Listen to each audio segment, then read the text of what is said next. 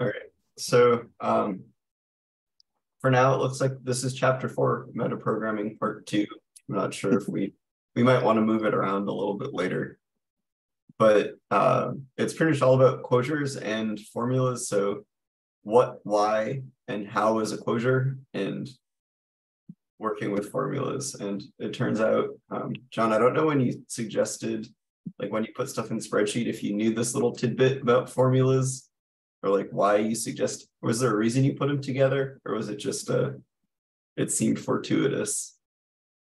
Uh, I don't remember what I did there, but it was something with where things were in mm-hmm. the pkgdown site. Gotcha.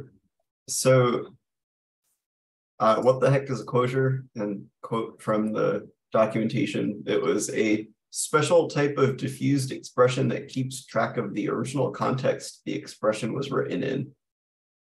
And uh, that doesn't really make a whole lot of sense on its own until you start actually learning like how they're used. But essentially, it's just some sort of object that keeps track of its source location so that if you try and reference it, you don't get the data from the wrong environment. You get that object from the correct environment.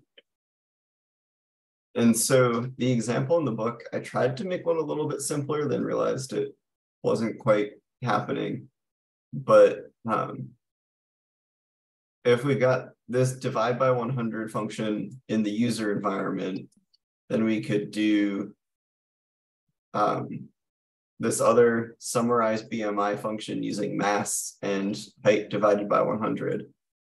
And then that summarized BMI comes from this other package that then calculates BMI using mass and height. And then that gets nested again inside check numeric, which will do stop if not is numeric. And so you end up with this giant um, like chain of stuff where if you called this uh, inside summarize stats, you've got this transmute and the summarize. And then if we were to just inspect this transmute a little bit more, and sort of expand it out, then it all would add up to uh, this. And the book, not the book, the documentation used this weird method of noting the different environment levels with the caret operator. And I thought that was mildly confusing. And so instead, at least what I like to do when I write my own code is I'll use tabs where they're supposed to go, but there are extra tabs for things that belong to something else. So if I do a group by, anything under my group by is tabbed over until I ungroup.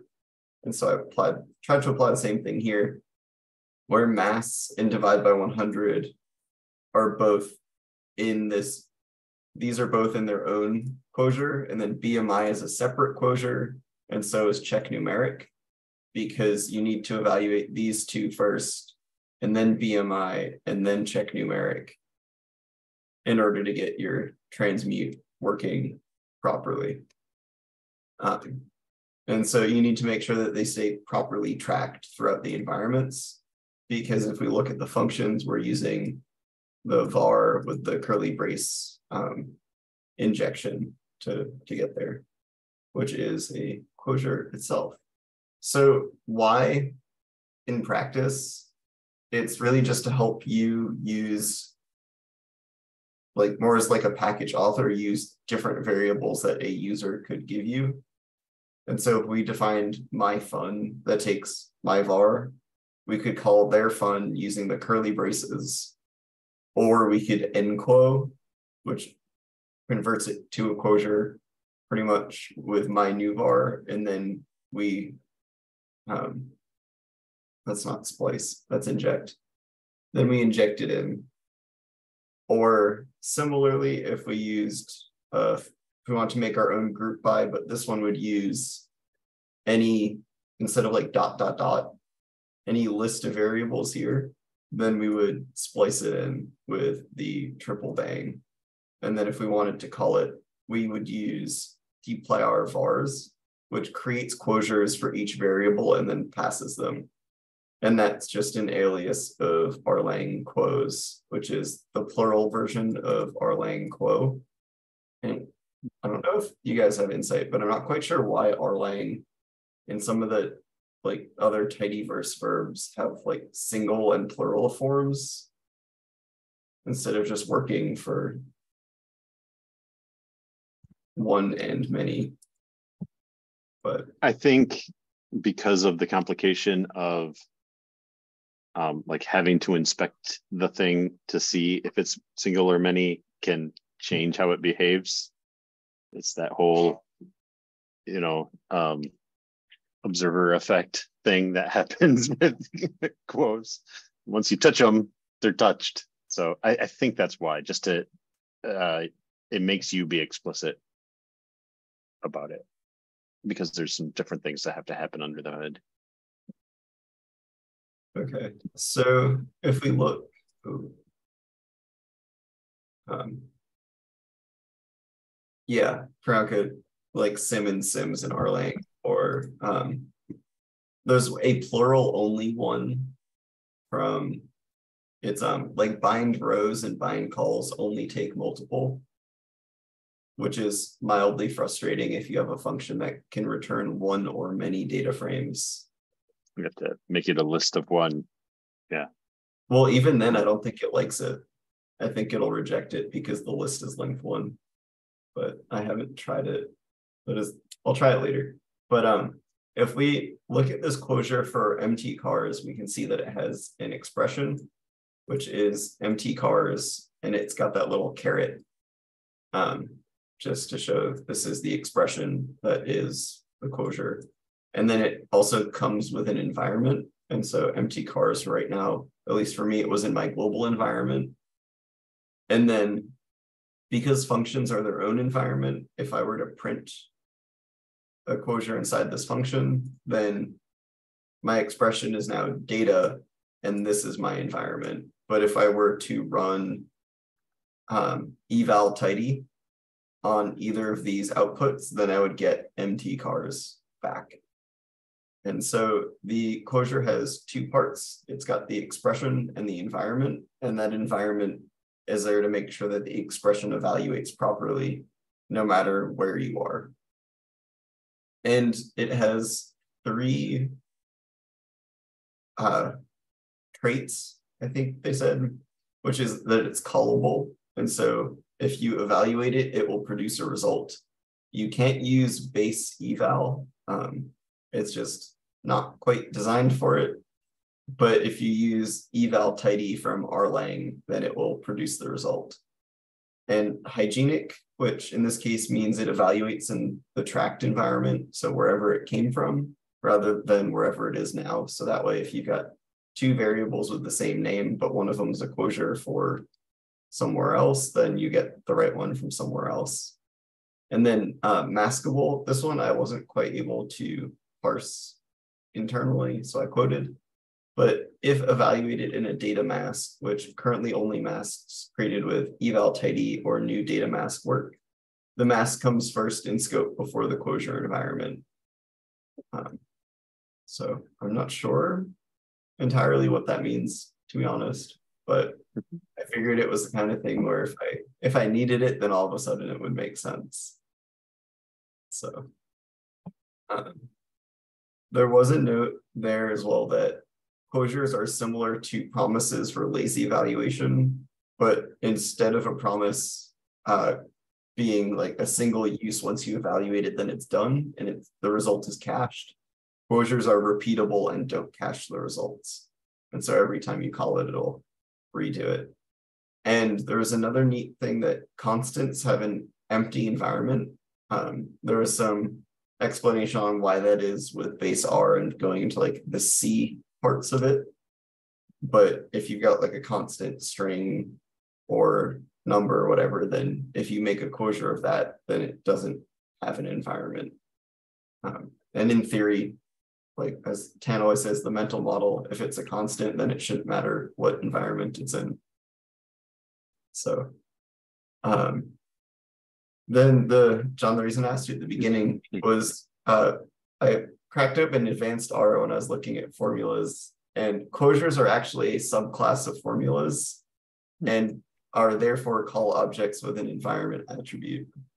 So uh, that will make a little bit more sense in a moment, but some of the more important helpers for quosures. So, were- wait, can we can we pause for just a minute? Yeah. So, like both in the documentation and you know going through it here, they have the section when should I create quosures? Mhm. I still don't feel like I have an answer to that question. Like Okay, I miss, I it's because it's like, Okay. well, you should just here you should just use curly curly, and here you should use yeah.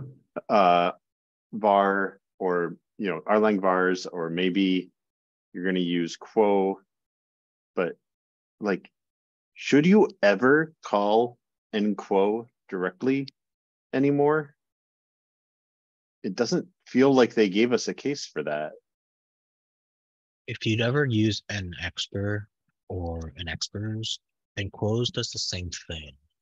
So in theory, you could still call it. If that makes sense. Like it's like, uh, do you have a mental model of when you would use like an exprs or ensyms? Because enquos is like augmented with the environment itself. So if you think about like the name like if you're modifying the calls to behave a certain way or modifying the names, I feel like you'd use enquos. Here, it, all the examples that they've shown are basically you can just pass it instead of you know doing stuff with it, right? yeah I feel like you still need it. It's like the like quo and inject part, I think, where like you take in multiple things and then like splice them. Those are still that's still necessary to use in quos, I think. yeah maybe. okay yeah i think it is it's when you're going to mess with it it's when you need that object to exist so that you can maybe change something about the environment or you know something like that so that you have this thing can then be manipulated. Because otherwise you know you can just pass it or you can use curly curly or you know you can do these things that don't i mean they under the hood they're calling it but they're calling it not you you know? Yeah, I think like the so- only one I can think of is like group buys, like diffuse, like inject and whatever, right? I mean, even Because it appeared in like here, one of the recent ones. Yeah where like Uh, they have now an inject operator that you can Hmm. add to things. Yeah. So in, inject, I actually used today. It's basically turn this in, you know, pretend this is our Langy is what inject does. Mhm. So take this function that isn't all tidy capable and just kind of wrap it. And then you can use, uh, it was specifically, it was that case where I had multiple functions that I'm passing arguments on to, and the arguments come in as separate lists. So it's it's as if they were like multiple dots, basically, or you know, multiple groups of dots. Um, but that's all I need, you know, like I can just do inject and then treat it as if it can handle it. Um, so Yeah, I, I I generally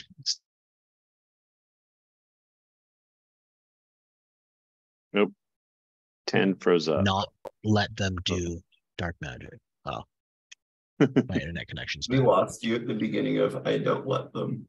I don't let users do tidyversey stuff anymore. That's kind of my thought. Like, there's no reason that it should get to end quotes. I'd rather just make Yeah. them work around it the other way, you know, or make a vector specific thing and then get them to use it. For, for the most part, yeah. I mean, I say for the most part. I think I entirely agree. And I'm still watching for cases where I don't. Uh which I might still run into, but um and you know, a lot of times I'm using it just to like I could do it in base, but I feel like the, you know, as usual, the rlang, you know, the tidyverse adjacent functions just have nicer argument order and things like that and better help but there are things where it's like oh i'm really just doing a uh, a call. Like but yeah but i'm doing it through rlang exec or through inject because it is easier for me to follow. And i'm importing something else that's going to import rlang anyway so might as well use it. That's what it comes down to i don't know. That so i still just i feel like that section when should i create quosures? Still Never. like every every time they do these they say well you could do this or you could do that. Well the second one's easier. I'm going to do the other one. I'm not going to use enquo um, or i mean i guess i could see if you want to uh, if you want to use um, rlang but not dplyr as an import you might have cases maybe where it makes sense I guess Anyway. maybe he let me flip that for you guys real quick. It's like there's this one not quite throwaway line, but you only really need it for arguments which are diffused later on. Yes, So If you're because not- you need to actually evaluate an expression in order yeah, to have value. If it's just pass the expression to mutate or whatever, it doesn't make sense. right so like it is, I think, one of those things where unless you're writing functions for other people, then you're not really gonna touch it. Maybe I've got like a potential case is like, just to kind of expand on how I understand the, the point that Gus just, just read. Is, uh, let's, let's imagine you're, you're taking like bear, taking a- as an argument like bare names, right? So then you could kind of pass that on, um, uh, you know, using curly curly to certain functions, but let's imagine there's another function, the chain of things you want to do that expects uh, a character name. Um, so there you would want to like quote the input and then kind of utilize it differently in different contexts of like sets of functions that you'll you'll use in like a chain of things that you want to do. I don't know, does that make sense? Yeah, yes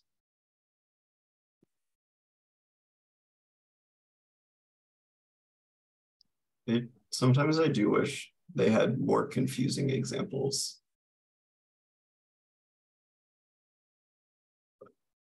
yes honestly because it, it- they're like oh it, see it's just here's this simple case and you don't actually really need to do this it's like but but if this were more complicated you would need to do this it's like Yeah. but Can you when show me more complicated. yes Yeah, the type, like the a- tidy it's like an eval XY book problem. was, oh, sorry. Sorry, go ahead. Well, no, I was just gonna say the, uh, the, the now defunct tidy eval book was kind of helpful in that regard, because it, it, it, you know, it seemed to have realistic use cases, but also it predated curly curly. right Um, I mean, if they just kind of like continued that logic of saying, here are some real world ish examples and let's kind of like work through them, I think that would probably be a bit more satisfying. And heck, if they even just like if they threw out some of the like che- checking bits from the actual tidyverse itself and just said, here's a condensed version of like group by where we're using this. But yeah like I've tried going through and learning from some of the tidyverse functions before. And it's definitely one of those things where like the people writing it know exactly what's going on and anyone outside trying to look in you you don't stand a chance. that's uh that's valid That's a really good way to describe what enquo and whatever does. It's like it's it's what is used to to you inside of like tidyverse stuff. Yeah. And so Yep. like if you could describe the motivations in the sense of this is this powers dplyr's mutate, for example. And you need to make sure it considers this as well as that. Then you know we probably understand it better. But like trying to translate it to non-dplyr makes it not great. you know. So Like we don't understand because it seems ridiculous that you'd ever need such a thing. yeah so Yeah, I mean, they do have this small example here. But even then, they're diffusing it preemptively with vars, Right. whereas group by just takes it and you don't need quotes and it just does its thing. Right. So, Yeah. yeah. I think, I mean, that is hinting at uh, the ggplot2 case where in order to make it work with the old way, they had to make it a little, you know, they had to do some weird programming. I think that's like the only case I can think of. Mhm. Um, Is that the facet wrap one? yeah. That you have to either like I always still just use the the by notation, the the tilde notation because it's easier for me to remember than oh right, I use dplyr vars to wrap the things that I want to facet by. That's I guess I need to wrap the facet wrap. I don't know. Anyway. Um but it's because they want it to still work with the old notation that they had to make it also or they had to make it a little funky in the new notation so whatever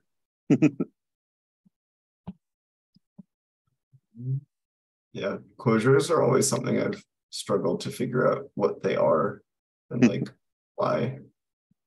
So nothing Who new. Doesn't? Hmm? Except John or Dan, no one can see that. I, I mean, my my answer is always why. My answer is still why because, but like, it's not why. It's usually why not do this instead. Yeah. Actually, is my usual response when I hear quosures. It's like, okay, do you actually need this? Because you probably don't. Uh, but that's my usual advice: is you know just use data mask. It's fine. Yeah. So, I- i do think well just one more thing on this is that um this documentation is also for them you know at first it's for them it, like if they add someone to the team or something so the answer is when do you use it uh when you are on the tidyverse team and even then only very special cases But they do come with some nice little helpers. So like I said, there's the single and plural for a few of them, but we've got enquo and enquos to diffuse arguments as quosures.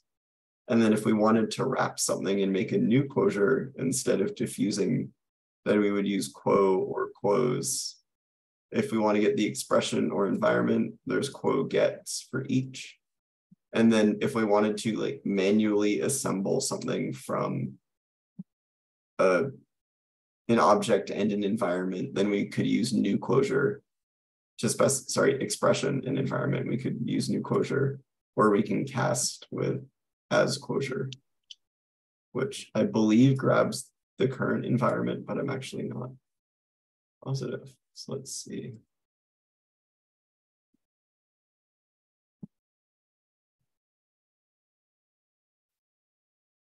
Okay, so for as quosure, you can specify the environment. And I believe otherwise it would just be evaluated in your current environment. Um, Formulas have a left-hand side and a right-hand side, or it's really just a call to tilde left and then right, which is kind of confusing but that's sort of the basis of like just the addition operator as well is really just secretly a call to the plus sign and then a left hand side and a right hand side. Um, and rlang has some helpers to access and set the left and right hand side as well as create new formulas with a specified environment. So rather than just like the base R here, this is a formula, then you get what you get. Um, you can now play around with it a little bit more. And these are the helpers, which um, similar to like names or call names, there's the regular and then the assignment version of each one. but you can do left-hand side or right-hand side. Um, same deal with getting the environment or setting it. If you want to make a new formula from parts, you can use new formula and then checking is formula or is bare formula. And there's a small difference between the two that I was not quite um, clear on. So is formula text whether x is a call to tilde is bare formula tests in addition that x does not inherit from anything else. I believe there's a missing other uh, than formula. But this is like I said about the more complicated examples, um, if there was at least one example where is bare formula evaluated to true, then that would be pretty nifty. But It's funny because the documentation says it should evaluate to true when it's scoped. Like it's like this should be a bare formula, even though it's not actually a formula. And so this should say is bare formula equals true. Like if you read the comment, says this should say true and it says false. I... Okay, So what it's saying is if you make it a scoped formula, yeah, it should evaluate as a bare formula, like bare, it should be a bare formula or should be considered a bare formula. Like if you're reading the comment and like yeah, as ex- as intended, it's like this should be a this should be a bare formula. It's not. We don't know why. I wonder if I try and run this real quick on my machine. I wonder if it's just a weird, if it's a weird or a, a constant. Yeah, I'm also getting false, so. Yep. Oh, but if I supply scoped equals false, then I get true. So should say scoped equals false. Perhaps. He's by soap equals false. It's considered a bare formula. That's strange. Um, yeah. So higher level questions. Where do you use like what's the difference between a formula and like an expression? Is it just the fact that it's got this tilde in it, so it's like a left hand side and right hand side? Like it's like a special kind of expression. They come with an environment, which I'm not sure expressions do. So And that's sort that's where they relate to quosures, is that quosures have an expression and an environment. And so, so formulas like the base quosures. R formulas have a have a a environment as well. Yep. I guess Yep, that that's makes sense. why, you know, um, you can type like just X tilde Y or whatever, and it's, it like treats it as if you had quoted things. Um, Right. So like in Yeah, there we go. in like a in like a linear model, when you do X inside Y, it's not taking the expression. It is actually including the value of that inside. Okay. I mean, this is part of the idea behind Butcher, where you can take some model object. Yeah. Including a formula and then chop off the environment.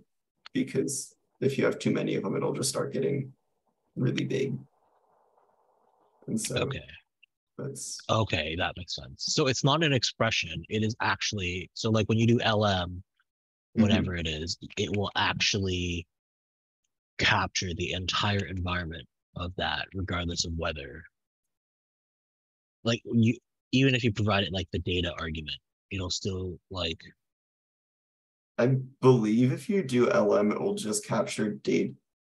It will create a new environment with data in it. But I'm not. if you provide data, and then if you don't, then it'll capture the entire environment. Is that what's is that what the difference is here? Trying to figure. I'm trying to think of I'm mental model here. not sure. Will LM complain if you don't do? just to give some little, Yeah, I think you have to supply data to LM. Uh, Yeah. okay, so is bare formula X tilde Y is true? Yeah. Okay. Oh, So- and then we're so- just inspecting the different parts. yeah. Okay. I'm just playing around with it. Um, one aspect of formulas is that they are subsettable. Um, which is they're just weird. quosures. Right. They they are they're their own thing that are quosure like. they are language objects. So if you do um They have quosures, but they are not quosures. There. yeah, Rebecca Butler asked a while back in our general about working with formulas and there was a nice little dive into butcher and how formulas like maintain their environments. Um, Yeah. I can let me grab the link for it. And then I can send it in the chat.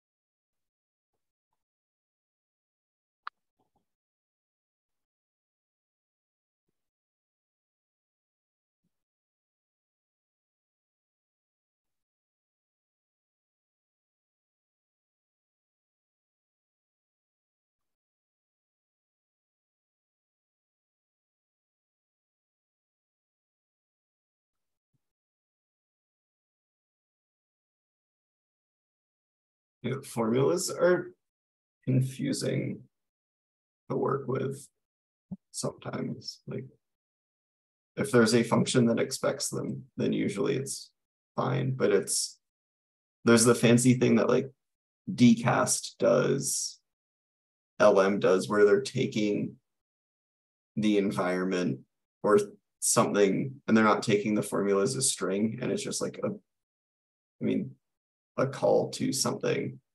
And then how are they actually working with that is something I still haven't figured out.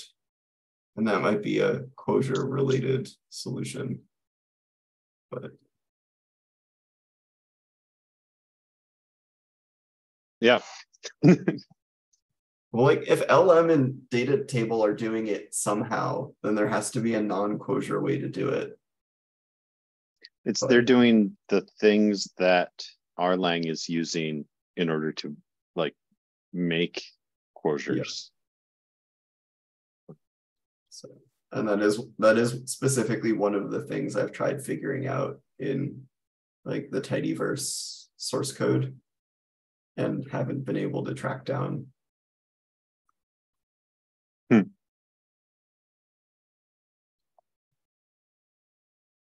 If we look.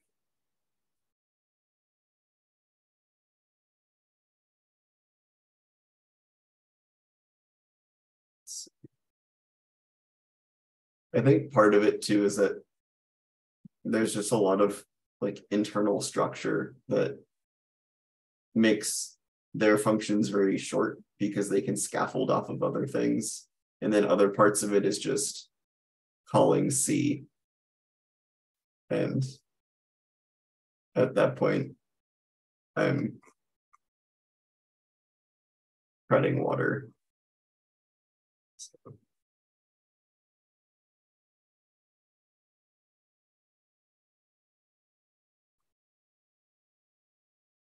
I don't know if there was anything else we wanted to go over. Mhm. Um, there was this little note which the bit about um, constants having empty environments. And so if you had a list of quotes which are foo, one, and null, the environment is empty because foo is a character constant and won't change. Um, I'm not exactly sure why one plus one does have an environment. And I'm going to assume that it's just because it hasn't been evaluated yet. And then because it is something that needs to be evaluated, then it would I end up think- being an environment. So you can Yeah. actually override the plus sign, by the way. So i- uh, if you've ever done that, I think I did that in, you were, you, I think you may have done this as well in Advent of Code a little while back. But No, it is taking the, so in one of the problems, you can actually like change what add, adding and subtracting does, and it helps to like solve this problem. I can't remember, I, I don't have that I think. I used function factories for that. Was that like one of the monkey problems? I don't remember. It it blurred together. But basically, the reason why this isn't a this so you can actually change the plus sign in this case. Um, and Oops. then I didn't, it's referring to that. yeah, yeah you don't need the first line of what I just pasted, but the, just the paste. Uh, so Yeah, the environment matters because if I, if I send in one plus okay. one in my environment there, it's not the same as your one plus one. Yeah, silly me for considering that someone might want to override the plus sign. Well, have you met uh ggplot, for example? Yep. Yeah, I know. And And lots, of I I still keep on, especially with base pipe, I keep on trying to pipe ggplot things together. Mhm. Um, especially with like leaflet, you can pipe leaflet to itself, but you can't like it's just ggplot that does it. Let's see. I think it's a leftover of the fact that like pipes didn't exist when ggplot was invented. Yep. Yeah. Like even the magrittr pipe did not exist. Yep. And then there was, uh, there has been talk. Like people have asked a million times about, well, will there be like ggplot three with piping, or could you just add? Can you make it work with either piping or plus? And they're like, uh, nope. it works. It is slightly different than piping, kinda, because you are kind of adding on, and, and like the order matters, and I don't know. Um, but I did. I double checked the two likely culprits tan for what you're referencing, and in one I used um, function factories, and then in the other one, I just used a list of operations and then a little bit of if uh, if elsing to to get to the right one. So Hmm.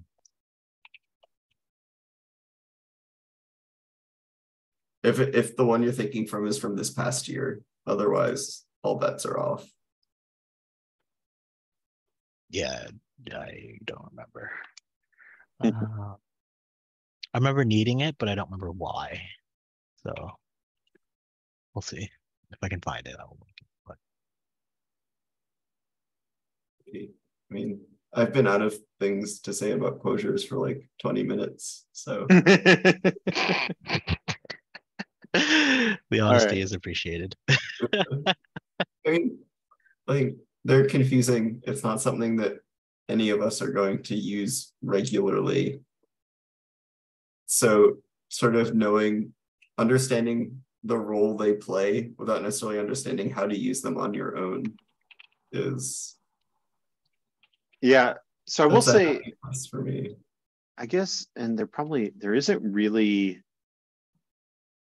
like there are things that are more straightforwardly metaprogramming that are in rlang that Mhm. aren't involving quos and enquos and data masks and everything, you know, like um, all their stuff about uh, argument checking, um, things about like uh, that's the main thing that we haven't covered. So there's the function arguments section of the reference that I don't think we have slated to cover. Let me let me make sure. Let's see if we have a, a spot for that coming up. Because if not, we should try to talk through it. Um, where are you sign up sheet?